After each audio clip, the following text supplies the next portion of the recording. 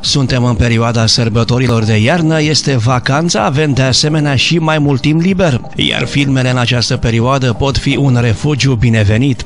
Am făcut așadar astăzi o scurtă listă în box office cu câteva dintre cele mai bune filme de sărbători pe care să le urmăriți alături de cei dragi în această perioadă. Am ținut cont, bineînțeles, de cotațiile la box office și popularitatea acestor filme recomandate.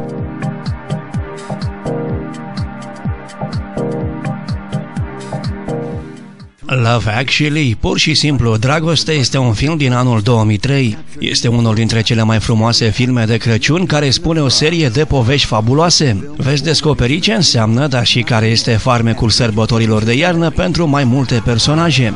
De ce fiecare trăiește într-un mod diferit perioada sărbătorilor, care sunt peripețiile prin care unii trec de sărbători, dar și cum încearcă alții să-și redescopere propria persoană.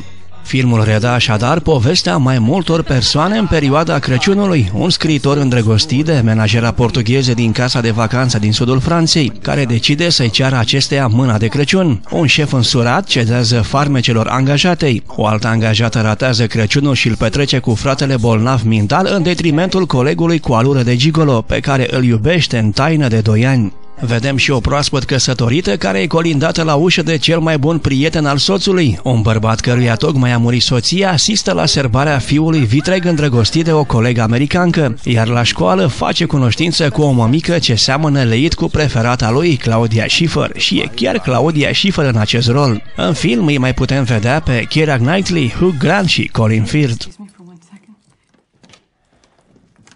A Princess for Christmas, Crăciunul la Castel, este un film din anul 2011. Este o comedie de dragoste pe care cu siguranță o veți îndrăgi. Crăciunul se apropie și Jules Daly din Buffalo, Wyoming încearcă din răsputeri să creeze o atmosferă de sărbătoare pentru cei doi copii ai surorii sale, al căror tutore este, dar își pierde slujba chiar înaintea sărbătorilor și misiunea devine imposibilă. Salvarea vine de la ducerea de Castle Blurry, nimeni altul decât bunicul copiilor. Ducele, deloc prietenos și nici pe departe copleșit de spiritul Crăciunului, îi invită mai mult din obligație pentru a-și cunoaște nepoții la castelul său din Europa.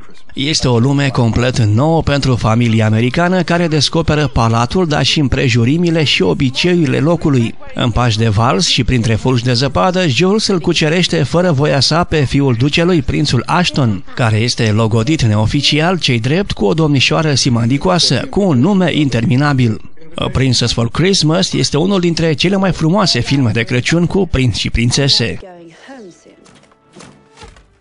The Holiday este un film lansat în anul 2006. Scenarista și regizoarea Nancy Myers ne aduce o comedie romantică. De data aceasta este vorba de o idee originală. Două femei, Amanda și Iris, plictisite de viața lor, se întâlnesc pe internet și decid să facă schimb de case pentru sărbători. Cum una locuiește în Statele Unite, iar cealaltă în Anglia, schimbarea e suficientă ca să le dea viețile peste cap. Amanda și Iris întâlnesc fiecare un bărbat în această poveste plină de optimism. Rolurile celor doi pretendenți sunt interpretate de Jude Law și Jack Black, iar rolurile feminine revin actrițelor Cameron Diaz și Kate Winslet. Bad Santa, Moșul cel Rău, este un film de comedie din anul 2003 în regia lui Terry Zwigoff. Pelicula spune povestea doi excroci care pleacă într-o excursie prin magazine îmbrăcați ca Moș Crăciun și elful său. Însă răspândirea fericirii nu este motivul lor, iar cei doi plănuiesc să jefuiască fiecare instituție prin care trec, plan ce devine complicat când întâlnesc un copil de 8 ani ce învață ce este adevărata semnificația Crăciunului. În rolurile principale îi putem vedea printre alții pe Billy Bob Thornton și Bernie Mac. Prietenii lui Moș Crăciun, The Search for Santa Paus, este un film din anul 2010. Prequel la filmul de familie Santa Buddies, acest film prezintă motivele pentru care între Santa Claus și Santa Paus s-a legat ulterior o prietenie atât de frumoasă și de strânsă.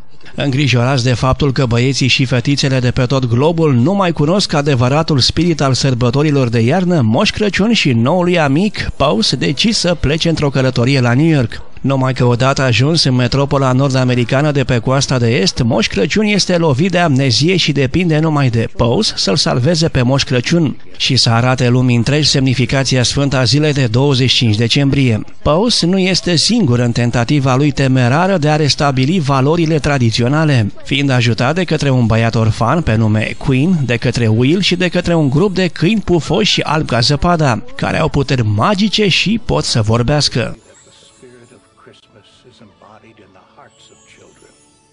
Un Crăciun de cenușăreasă, A Cinderella Christmas din 2016, iar în rolurile principale pe Emma Rigby și Peter Port. Filmul spune povestea lui Angie, care lucrează din greu pentru a conduce afacerea unchiului său de organizare de evenimente. Asta în timp ce vărul ei, Candace, își asumă meritele. Când aceasta petrece o seară de neuitat la balul de Crăciun, masca pe care o poartă îi permite să fie dezinhibată și captează rapid atenția lui Nicholas, un burlac bogat. Dar Angie dispare de la bal înainte de a-și dezvălui identitatea, lăsându-l pe Nicholas să-și caute mireasa în această prezentare modernă a basmului clasic. Regizorul Chris Columbus îl aduce pe marile ecrane pe Macaulay Culkin în celebrul rol din Home Alone, singura casă. Numeroasa familie McAllister al micuțului Kevin de numai 8 ani, părinți, unchi, frați, surori și veri pornesc cu micul mare să petreacă sărbătorile Crăciunului în străinătate, la Paris, uitându-l acasă pe băiețel. Cu toate astea, micuțul nu se plictisește deloc, mai ales că doi hoți plănuiesc să jefuiască locuința, crezând-o nelocuită. Curajosul și inteligentul Kevin recurge la tot felul de capcane pentru a-și apăra casa. Filmul este scris și produs de John Hughes și regizat de Chris Columbus. Pelicula a fost nominalizată la două premii Oscar și la două Globuri de Aur. În singura casă 2, pierdută în New York, Kevin McAllister revine de această dată având întreg orașul New York drept teren de joacă. Dar nu va fi singur multă vreme. Bandiții de doi bani, Harry și Merv, rolul jucat de Joey Pesci și Daniel Stern, despre care s-a dus vestea, au mirosit și ei că e rost de ceva și, lingându-și încă rănile de la ultima întâlnire cu Kevin, pun la cale o escrocherie pe scară mare. Compania 20th Century Fox prezintă urmarea la comedia care s-a bucurat de un mare succes. Filmul care se situează pe locul 3 din punct de vedere al încasărilor din întreaga istorie a filmului artistic. Ajungem și în 2020, anul care a adus câteva filme bune de acest gen și aici amintim Holiday, Iubiți de sărbători. Sloan, rol jucat de Emma Roberts și Jackson, rol jucat de Luke Bracey, detestă sărbătorile. Cu aceste ocazii, ambii sunt singuri, trebuie să ia loc la masa copiilor sau se văd obligați să aducă parteneri ciudați doar pentru a se conforma așteptărilor. Dar când se întâlnesc de un Crăciun deosebit de jalnic, cei doi străini fac un aranjament. Vor fi perechea celuilalt la toate ocaziile festive din an, împărtășind o aversiune comună împotriva sărbătorilor și asigurându-se reciproc că celălalt nu interesează, ei devin perechea perfectă, ceea ce conduce la nenumărate situații amuzante și provocatoare. Însă, la sfârșitul unui an de sărbători absurde, Sloan și Jackson își dau seama că ceea ce ambii detestă s-ar putea să devină ceva ce ambii îndrăgesc. Același Chris Columbus, care a regizat Home Alone, a adus anul acesta și filmul Cronicile Crăciunului, The Christmas Chronicles, cu Kurt Russell, Goldie Hawn și Derby Camp în rolurile principale.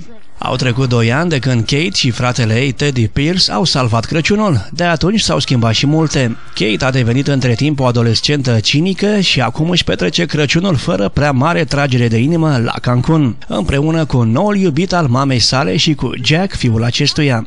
Nefiind dispusă să accepte această versiune de familie, Kate decide să fugă. Însă atunci când magicul și misteriosul Buzz Nickel amenință să distrugă Polul Nord și să termine cu Crăciunul pentru totdeauna, Kate și Jake pornesc pe neașteptate într-o nouă aventură cu Moș Crăciun. Din 2019 avem filmul Fantasy The Night Before Christmas, un cavaler de Crăciun, ce aduce în rolurile principale pe Vanessa Hudgens și John Whitehouse, într-o frumoasă poveste de dragoste ce se petrece în perioada sărbătorilor de iarnă. Filmul spune povestea unui cavaler medieval englez care ajunge în mod inexplicabil în timpurile noastre, în perioada sărbătorilor de iarnă. Aici se îndrăgostește de o profesoară de liceu din Ohio, care nu mai spera să fie vreodată fericită într-o relație. Nu în cele din urmă, filmul Last Christmas din 2019 aduce în rolurile principale pe Emilia Clarke, Emma Thompson, Henry Golding și Michelle Yeoh. Filmul o prezintă pe Kate care bântuie fără sens prin Londra pe fondul colindelor de Crăciun și e toată un mănuc de decizii neinspirate, consecință directă și enervantă a jobului ei de elf într-un magazin cu tematică de sezon. De cealaltă parte, Tom pare prea bun ca să fie adevărat când intră în viața ei și începe să pătrundă în adâncul sufletului ei. Dar uneori trebuie să lași zăpada să cadă unde vrea ea, trebuie să-ți asculți inima și trebuie să crezi. O nouă poveste de Crăciun are în coloana sonoră muzica lui George Michael, inclusiv piesa clasică Dulce Amăruie care dă și numele filmului. Pelicula lansează în premieră material nou muzical înregistrat de artistul care a vândut peste 110 milioane de albume și a înregistrat 10 single-uri care au fost pe primul loc în clasamente de-a lungul carierei sale.